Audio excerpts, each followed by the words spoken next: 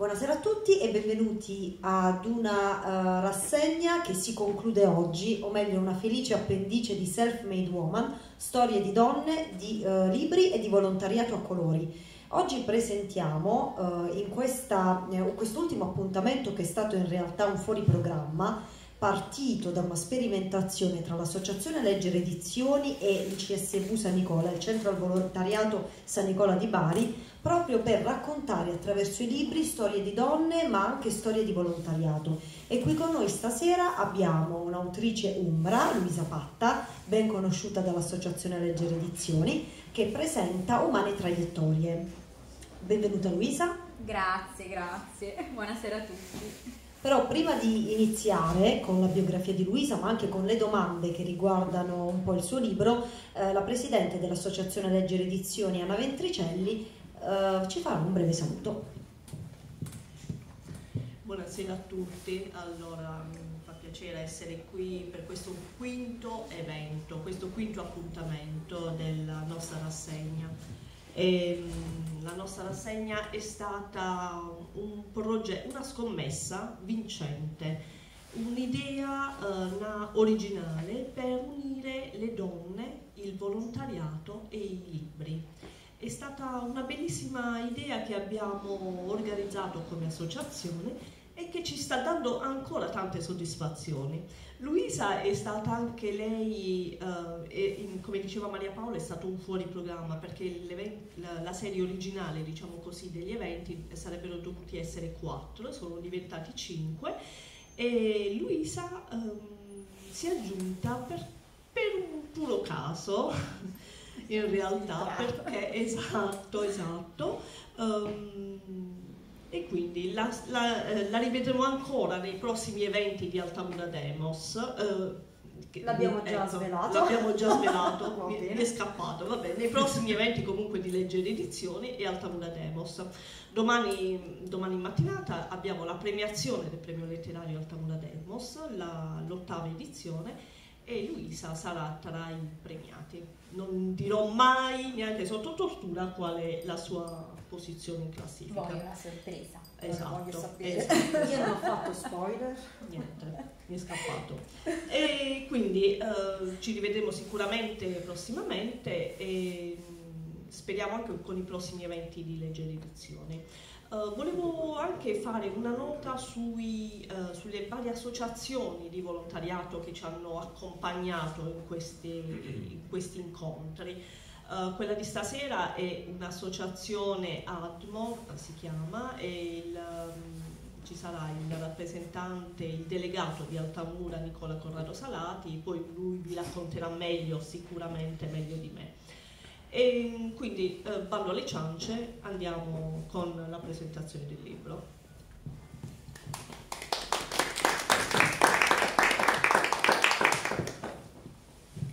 Luisa Patta presenta oggi, abbiamo detto, umane traiettorie, percorsi dentro di sé e oltre di sé, edito da Book Tribu è una mamma appassionata, un'educatrice in continuo aggiornamento e svolge la professione in un nido d'infanzia a Siena. Si definisce una nomade di pensieri e parole che raccoglie e disperde dovunque. Trasmette il suo grande amore per le storie a tutti i bambini che incontra quotidianamente. Recentemente ha ricevuto diversi riconoscimenti in ambito letterario, il premio della critica dell'Etna Book Festival nel 2021, il secondo posto al premio letterario Città Riviera del Brenta, la seconda posizione al concorso letterario Argento Dorato, tutti nel 2021, nella sezione Libri illustrati, e il terzo posto al premio letterario Città di Melegnano, il primo al concorso dei Mini Racconti 2022, al concorso letterario Scrivendo 2022 e il secondo posto al premio letterario Le Mille e una Donna, organizzato appunto dall'Associazione Leggere Edizioni sempre nel 2022. È arrivata nella rosa dei finalisti anche in altri concorsi letterari tra i quali le voci del racconto e il premio Residenze Gregoriane, il premio di narrativa essenziale Formiche Rosse e il premio letterario Città di Siena 2022, nella sezione narrativa inedita con una raccolta di racconti e una storia per bambini. Ha pubblicato diversi scritti in tante raccolte di autori vari, ne cito eh, giusto qualcuna, Scrivendo 2021 di Cubere Edizioni e Racconti Umbri 2020 e 2021. Ho anche fatto un riassunto, quindi sono molti di più, questo è in sintesi. Però eh, Luisa, come nasce eh, questo libro, questa pubblicazione? Innanzitutto grazie, io vi ringrazio tantissimo, voi lo sapete che nutro molta stima per, per voi, per leggere edizioni e il nostro è stato un incontro fortunato che, che, mi porta qui oggi a presentare quello che quando ci siamo conosciuti ancora non esisteva, o meglio, esistevano i racconti in una forma diciamo un po' disomogenea perché Umane Traiettorie nasce eh, da un, dalla scrittura notturna perché nella, nelle giornate frenetiche di una mamma, lavoratrice, educatrice, avevo bisogno di un momento di raccoglimento eh, e quindi la notte ho iniziato a scrivere. Mi è sempre piaciuto scrivere, scrivo da, veramente da quando andavo alle elementari, però non avevo mai pensato che questi scritti potessero far bene anche a qualcun altro, non solo a me, perché sappiamo prima di tutto che la scrittura terapeutica. E, e, quindi niente, poi è scoccata una scintilla che mi ha portato a, a condividerli, a invitarli a premi, concorsi e da lì ho ricevuto appunto dei consensi che mi hanno portato a, a crederci, a credere di più nelle mie parole e nei messaggi che volevo trasmettere. E così è nato Umane Traiettorie, che sono dei racconti molto eterogenei, che però hanno un filo conduttore molto forte, che è il filo della della natura umana, quindi della, di questa figura che siamo noi tutti, eh, che a me, piace sottolineare soprattutto contraddittoria, sfaccettata, e mai, mai uguale, no? come, come, un diamante. E quindi è quello che poi ci, ci rende tutti comuni nella diversità. Ci parli dei personaggi femminili dei tuoi racconti, da Giada, Gabriella, Stella?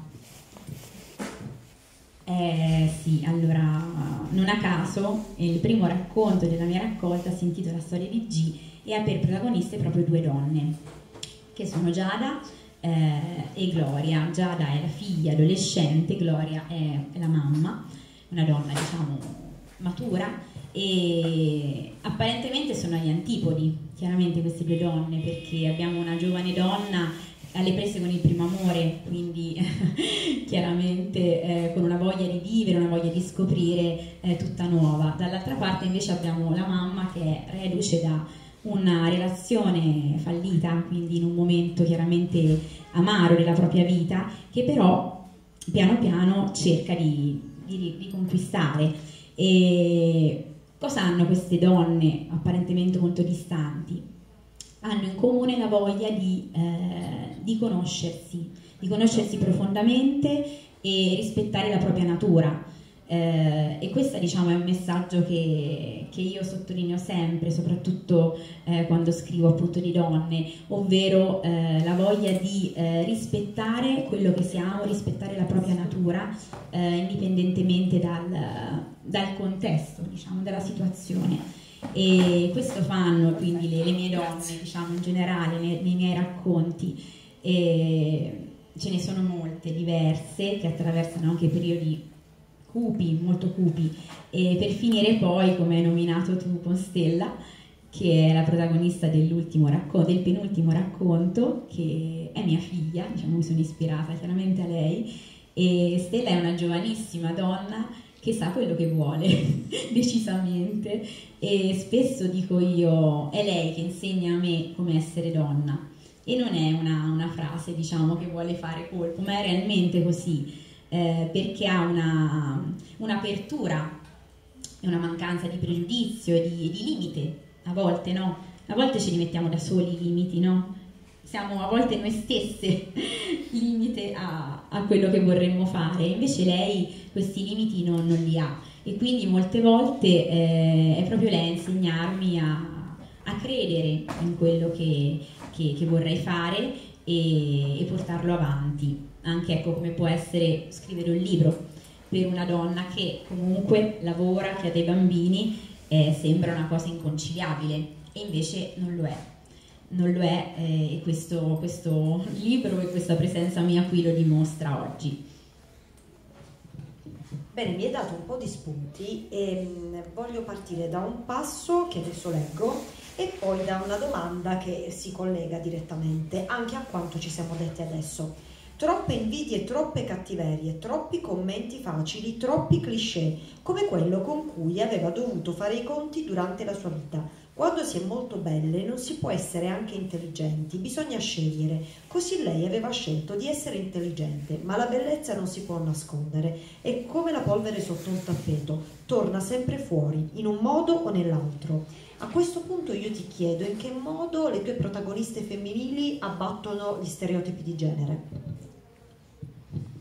Questa è una bellissima domanda. E questo è un personaggio che in realtà andrebbe approfondito.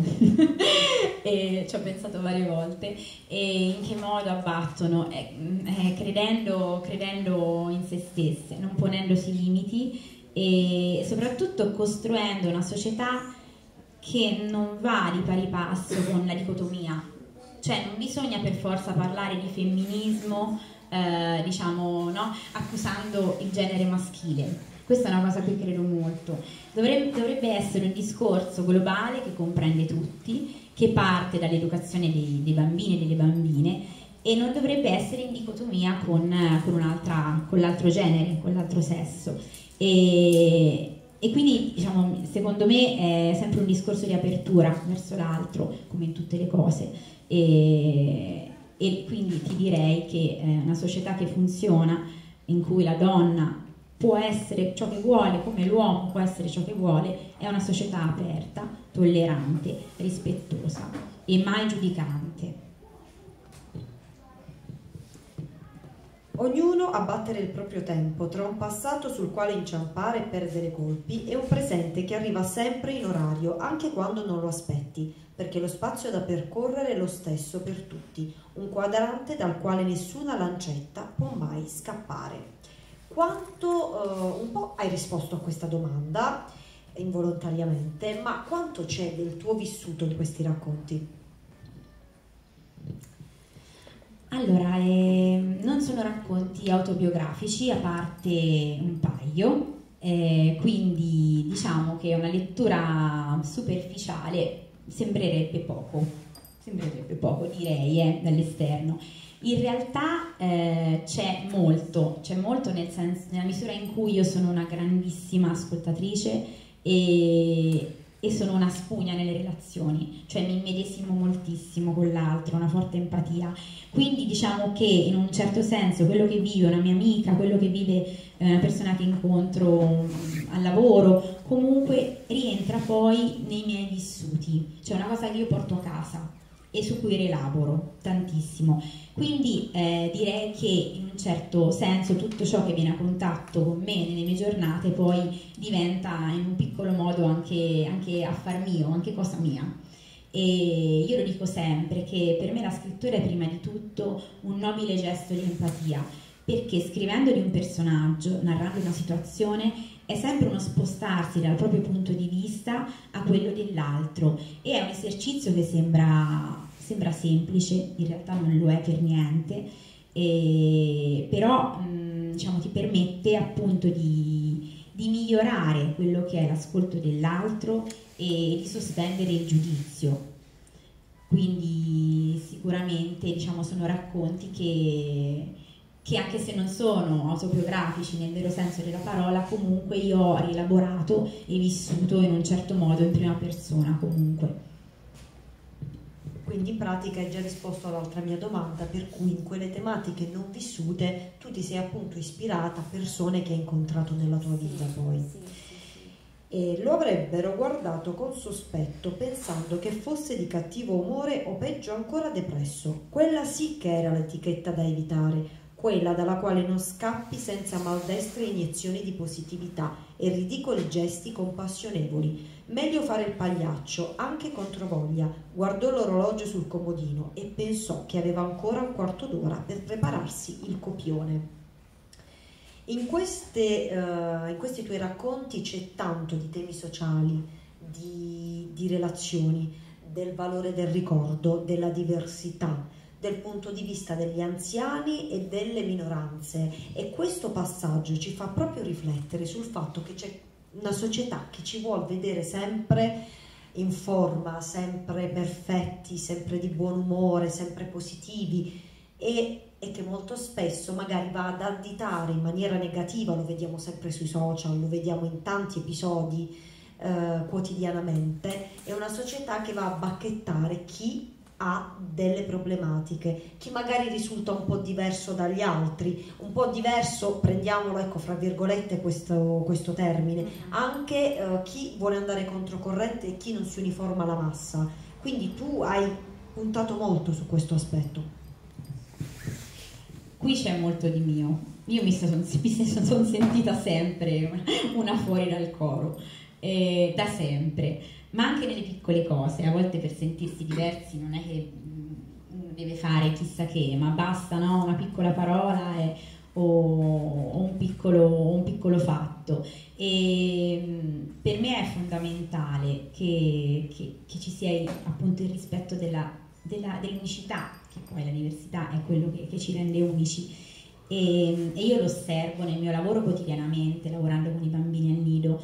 E, e sono proprio invece fautrice di quella che è l'unicità di ogni, di ogni bambino e di ogni bambina. A maggior ragione, secondo me, bisogna appunto per cancellare questo, eh, questo atteggiamento che poi si radica nella società bisogna insegnare fino, fino, da piccoli, fin dai bambini, che a rispettare la diversità, quindi a farne una, una, ricchezza e non un problema o un limite. Al contrario, la diversità è una ricchezza e come, come, in tutte le cose, diciamo che anche noi stessi, l'evoluzione del, delle specie, no?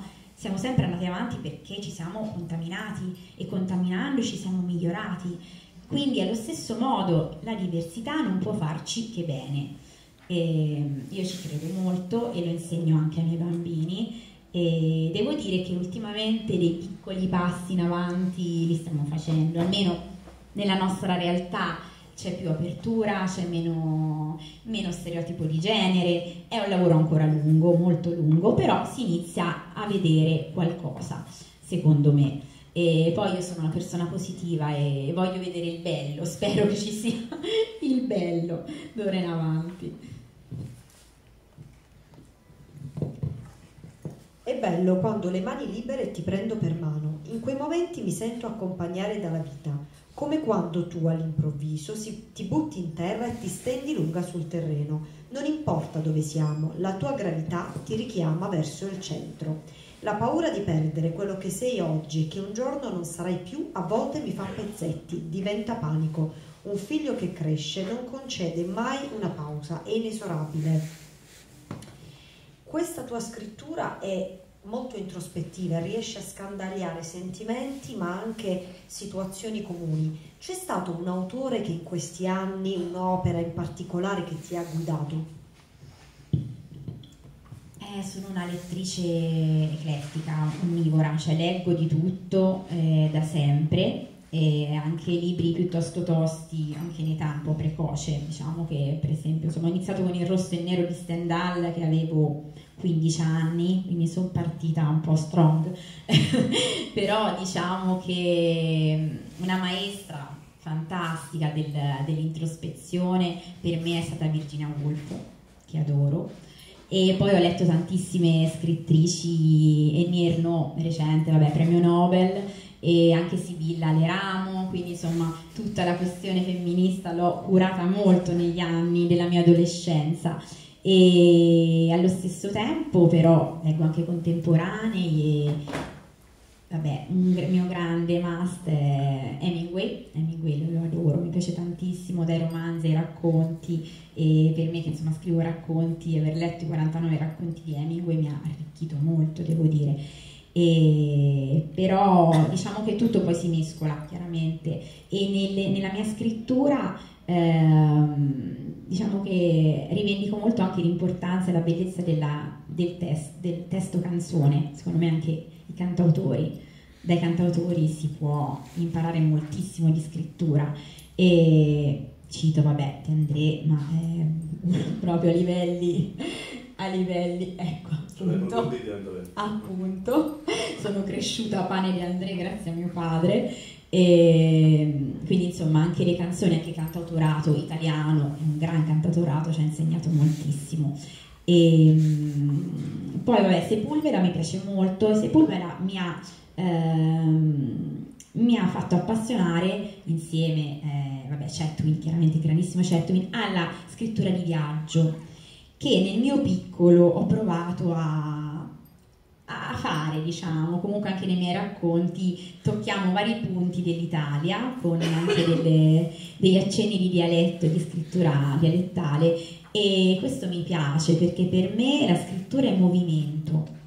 Io non a caso, quando vado a correre, mi faccio correre nella mia campagna senese, io mentre corro la, mi, mi, proprio mi scorre la storia nella, nella, mente. A volte mi faccio i vocali e me li mando perché mi vengono delle idee, dei guizzi proprio lampanti eh, che devo fissare. Quindi eh, per me la scrittura è movimento, al contrario di quanto si possa pensare, no? lo scrittore lichino sulla, sulla scrivania, che è anche questo perché poi le cose le devi scrivere, però il momento di genesi è sempre nel movimento e questa è una cosa fondamentale per me.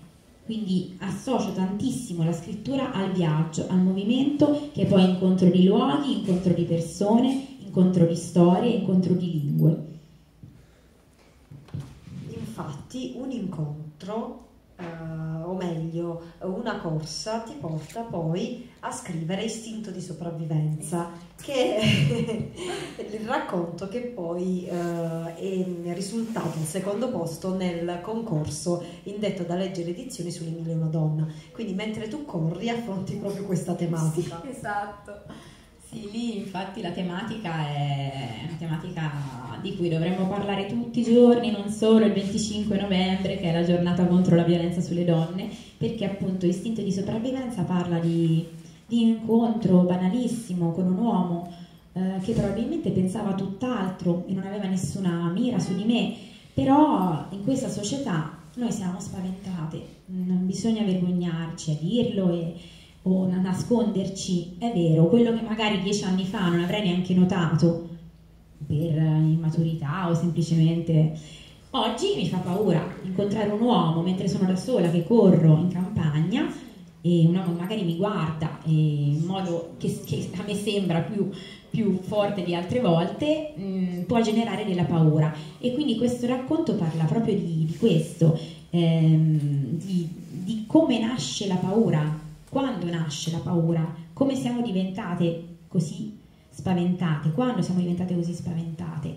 E è una riflessione quindi sul, sul limite, su questo limite molto sottile tra libertà eh, e appunto eh, pericolo, no? Dov'è, dov'è questo limite? E quindi è una riflessione che mi ha portato appunto a a, a vincere questo, questo, premio, mi ha fatto molto piacere e che eh, mi porta a riflettere quotidianamente su questo tema, che poi, che poi non è altro che la consapevolezza, perché la cosa più importante secondo me è la consapevolezza, è rendersi conto di quando si ha paura, perché si ha paura e, eh, e, credere a certi, a certi, sentori, a certi sesti sensi che ci, che ci, vengono addosso, che sentiamo sulla pelle e sicuramente non, non banalizzare, non giustificare e non nascondere. Infatti, a questo proposito, c'è un racconto che ho considerato, ritenuto molto molto intenso, che il vecchio appartamento, che affronta una tematica molto complessa che è quella della violenza domestica. Ma lo sentivamo lo stesso, anche se facevamo finta di niente. Facevamo finta a casa, facevamo finta a scuola, facevamo finta sempre, anche quando eravamo sole, io e mia sorella. Un'omertà che ci pareva buona cosa, perché anche mamma non ne parlava mai. Credevamo dovesse funzionare così. Mamma diceva sempre che a maneggiarle le cose che puzzano, puzzano ancora di più. Quindi eh, in questo racconto che mh, parla appunto di violenza, di violenza domestica, si mh, fa questo accenno appunto al silenzio, al uh, senso di vergogna, al voler nascondere situazioni particolarmente complesse. Ti chiedo se eh, nella tua esperienza di educatrice ti è mai capitato di avere a che fare con situazioni di questo tipo? Sì, purtroppo mi è capitato eh, tanti anni fa, quindi ero ancora una ragazzina perché ho iniziato prestissimo a fare l'educatrice di nido, studiavo ancora all'università e mi è capitato nei primissimi anni eh, di, di, conoscere una donna che era vittima di violenza domestica.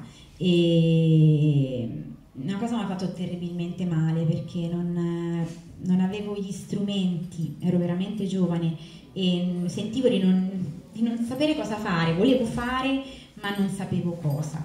Eh, ho, chiaramente ho provato con il dialogo, che poi è la prima forma, no? La prima forma che abbiamo, però ho trovato un muro e, e non è stato facile andare oltre, diciamo, non è stato possibile andare oltre. E questo, questo ricordo lo porto sempre con me e forse inconsciamente è anche tornato fuori durante la stesura del racconto perché il racconto, il vero protagonista di questo racconto è proprio il silenzio, è proprio il silenzio. E che, che, che ingabbia tutto, che copre tutto, che blocca tutto. E, ed è proprio lì che dovremmo invece accendere la luce in questo modo di affrontare, di denunciare e di non nasconderci, perché poi vedi che succede? Che questo è un modo che si replica nelle figlie, no? Chiaramente tu comportandoti in questo modo eh, inconsciamente insegni ai tuoi figli a comportarti ancora in questo modo e passi un messaggio che purtroppo si radica e si perpetua e quindi è proprio qui, mh, mm, soprattutto nel non detto e in quello che crediamo di non insegnare, che invece eh, sbagliamo, che invece ecco, purtroppo non volendo passiamo alle generazioni future. E quindi insomma io spero che queste generazioni nuove eh, abbandonino questo, questo, modo di sotterrare e di tenere queste faccende come fossero vergogna e come fosse una cosa da non dire.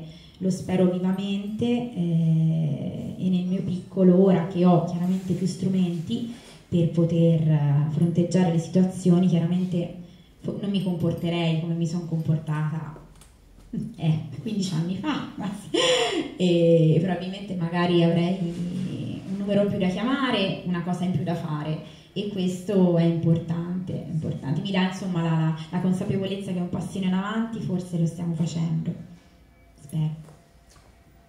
Bene, sì, a volte ci troviamo un po' impreparati davanti a determinate situazioni, però l'esperienza poi va a colmare questo, questo genere ecco, di defiance che eh, purtroppo possono avvenire.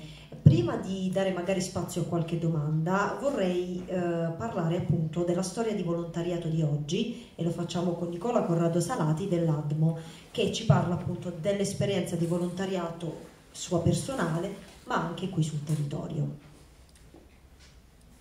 Arriva, arriva. Eccoci, no, ci mancherebbe.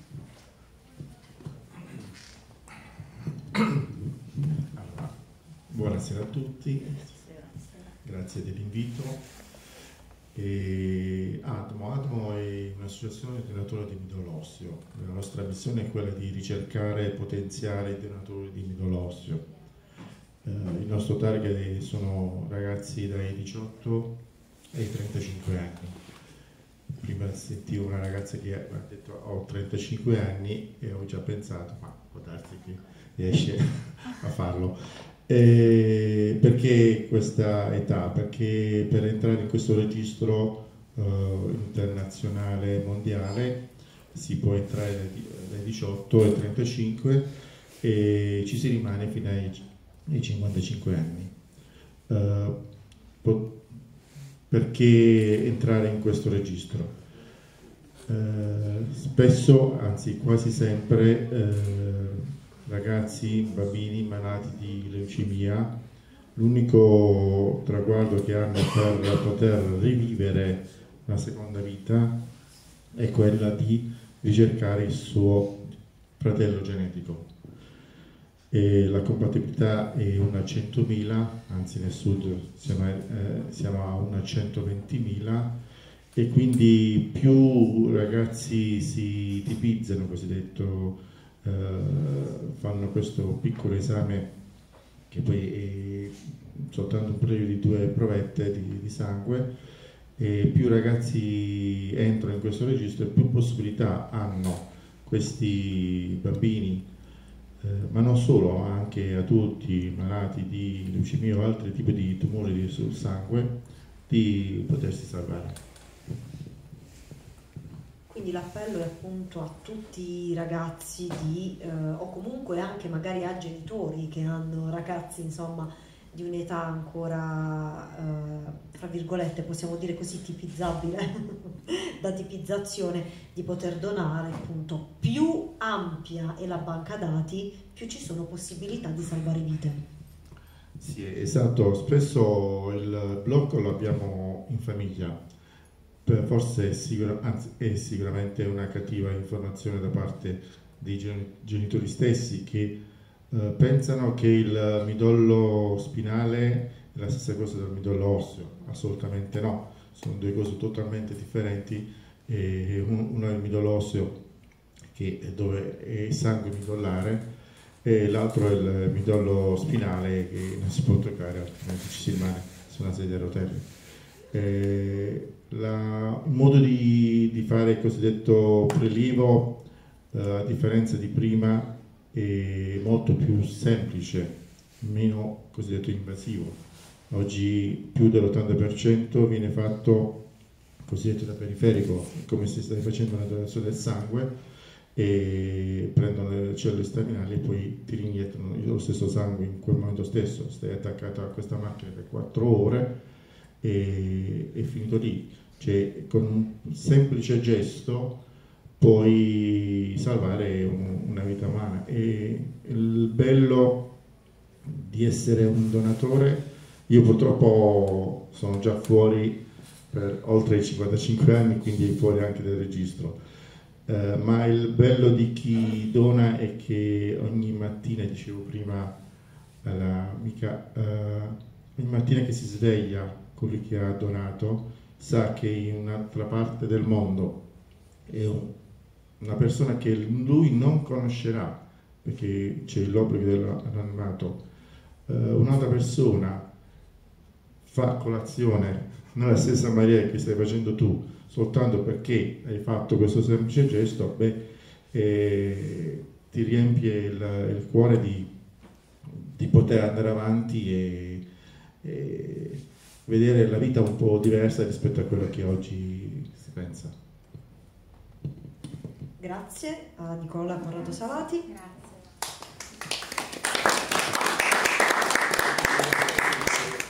E se ci sono domande le accettiamo ben volentieri. Domande, curiosità? Non c'è nessuno? Va bene Luisa, allora eh, andiamo avanti, nel frattempo qualcuno qualche domanda insomma verrà.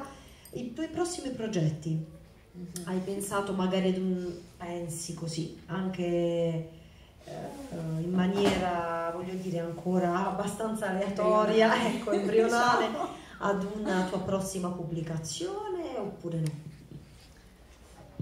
Io ho un sogno nel cassetto, ne ho tanti, però vabbè, uno, uno diciamo in ambito letterario. Mi piacerebbe tantissimo scrivere un romanzo che parli della Sardegna, che è il luogo, diciamo, di, di origine di mio padre, mio padre è sardo e io mi sento molto molto sarda eh, diciamo più della metà, dico sempre, per più della metà sarda, cioè ho veramente nel sangue un'isola che mi scorre fortemente. E, e un sogno sarebbe appunto scrivere della Sardegna, ripercorrere magari la storia familiare dei miei nonni, della loro grande famiglia. Eh, mio nonno è stato minatore per 30 anni nel Sulcis Ecclesiente, una famiglia numerosa con sette figli, quindi ne avrei da raccontare e insomma mi piacerebbe, mi piacerebbe tornare alle radici mh, dei miei nonni, mia, di mio padre, della mia famiglia e, e raccontare di, di, questa terra che per me è, è madre. una terra che sento veramente madre, sì.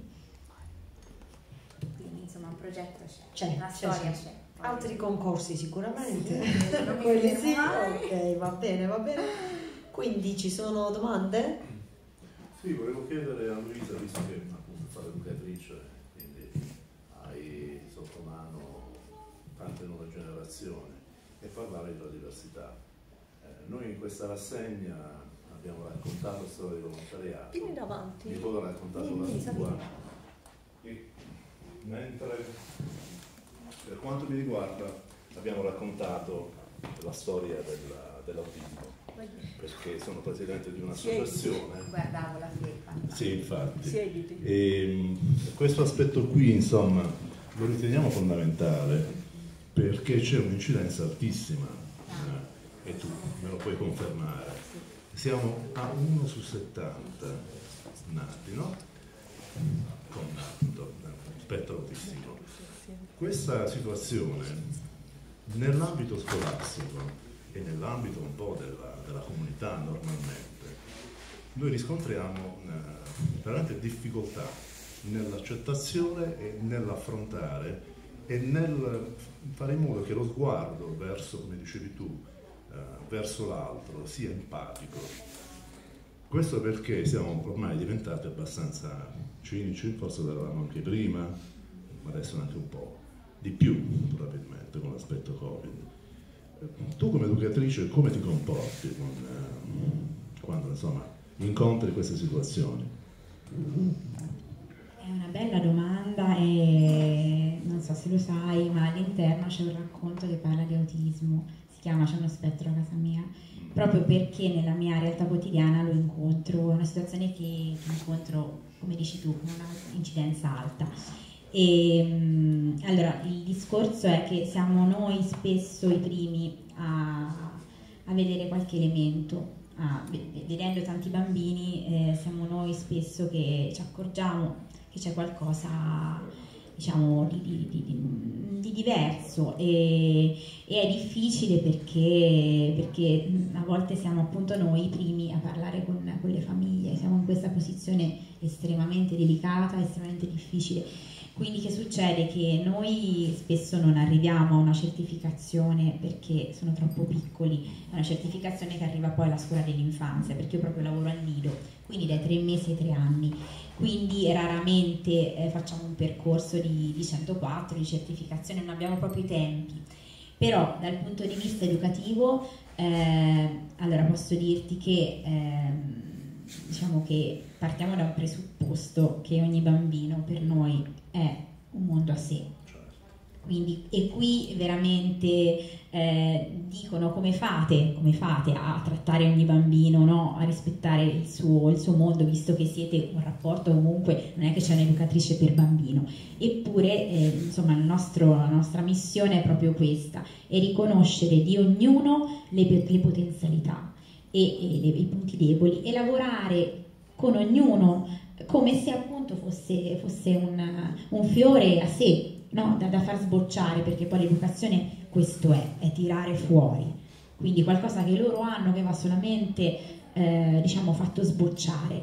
Quindi devo dirti che paradossalmente non ci sono grandi differenze su come possiamo trattare un bambino che forse è nello spettro autistico piuttosto quello che a un dovrebbe, che altro. dovrebbe essere Ecco, giusto, no? per quello ecco, non, mm, per noi almeno è una bella realtà educativa la nostra, ora non è per, però siamo insomma mm, servizi educativi che, che puntano tantissimo sul, appunto sul, sul nido ehm, diciamo che, che rende il bambino protagonista e non il contrario. Cioè ogni bambino deve essere protagonista del proprio percorso nella misura chiaramente in cui riesce a, no? a- ad, essere, ad essere partecipe di una certa realtà.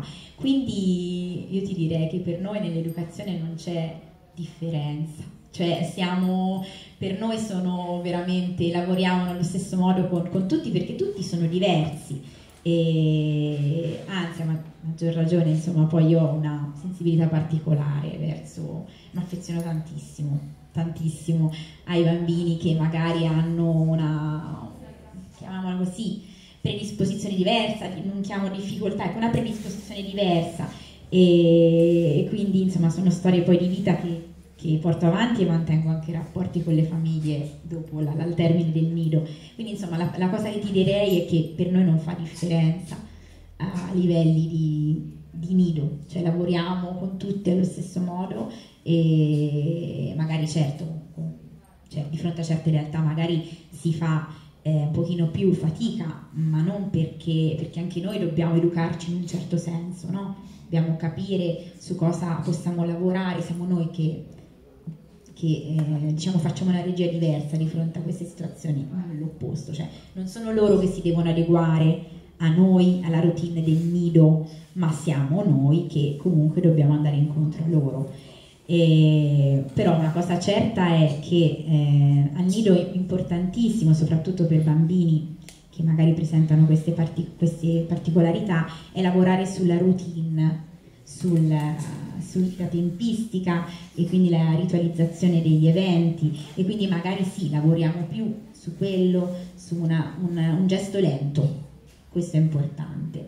Ora siamo tutti frenetici, una società. Forse tu dicevi siamo diventati più cinici, forse, ma siamo diventati più che altro senza essere, che non hanno tempo per fare niente, perché a volte non è che siamo cinici, ma è che ci manca il tempo. Cioè, una scusa chiaramente, no? Però è diciamo sempre così, uno non è che quella cosa non la voglio fare, è che non ho avuto il tempo, non è che non ti ho voluto chiamare, è che non ho avuto il tempo, quindi non è che siamo, è che non riusciamo più a fermarci e a rispettare la, la, priorità, la nostra priorità delle cose, non riusciamo più a mettere in scaletta le cose importanti. E quindi poi diventa tutto un grande calderone e sembriamo, io spero, ecco, sembriamo cinici, a volte qualcuno lo è, però insomma molte volte invece siamo semplicemente presi dalle nostre mille corse quotidiane, quindi quello su cui lavoriamo spesso al nido è proprio recuperare questa lentezza essere lì nel momento, eh, gustare ogni cosa che stiamo facendo, stiamo lavando le mani, bene, facciamolo con calma, tocchiamo l'acqua, tocchiamo il sapone, sentiamo cosa si prova in quel momento e questo in situazioni eh, un pochino più delicate abbiamo visto che aiuta moltissimo, aiuta tantissimo. E, e, poi cosa succede? Che, come dicevo prima, con l'esempio negativo si crea invece un esempio positivo perché anche gli altri bambini sono portati ad accogliere l'altro, perché vedono noi che facciamo in un certo modo e quindi, e quindi vanno più lentamente anche loro, eh, si guardano di più negli occhi, perché poi osservare è fondamentale, insieme alla lentezza l'osservazione è fondamentale.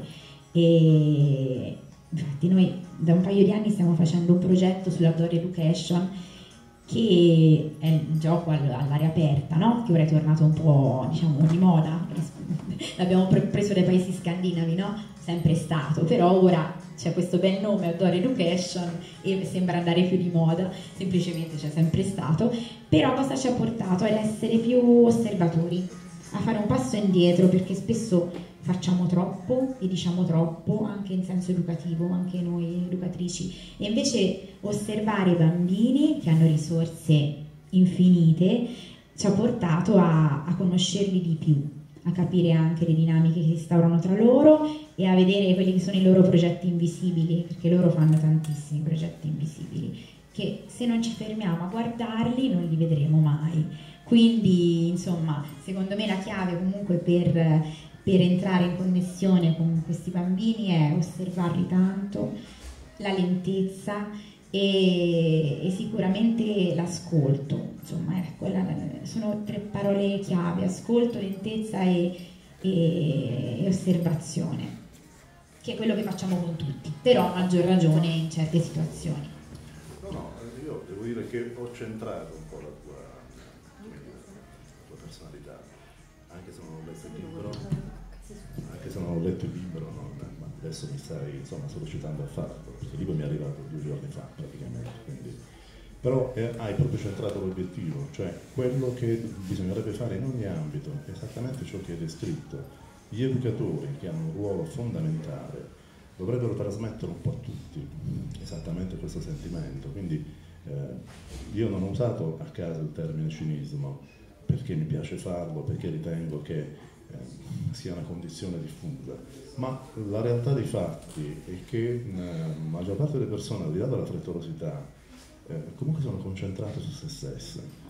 E quindi quando vedono le differenze, che possono essere ehm, a livello appunto di diversità eh, di percezione sensoriale, perché l'autismo è anche questo, è una diversa percezione, un diverso modo di stare al mondo, ma anche io lavoro molto nelle scuole e lavoro con i progetti, con i ragazzi, con i bambini e lavoriamo quindi appunto sul razzismo, sulla integrazione, su tutta una serie di, questi, di queste tematiche che sono appunto fondamentali per una società che debba essere inclusiva, quindi se partiamo proprio dal, dal nido e facciamo sì che bambini, famiglie e tutto quello che ci gira intorno vede l'altro come una, non differenza, ma come una sfaccettatura dell'essere umano, perché tra l'altro le neuroscienze ci dicono questo, che il neurodiverso non è un malato, non è un handicappato, però la storia che noi leggiamo ogni giorno e purtroppo nelle scuole la vediamo. Io ho una ragazza di 20 anni, quindi il percorso l'abbiamo fatto tutto,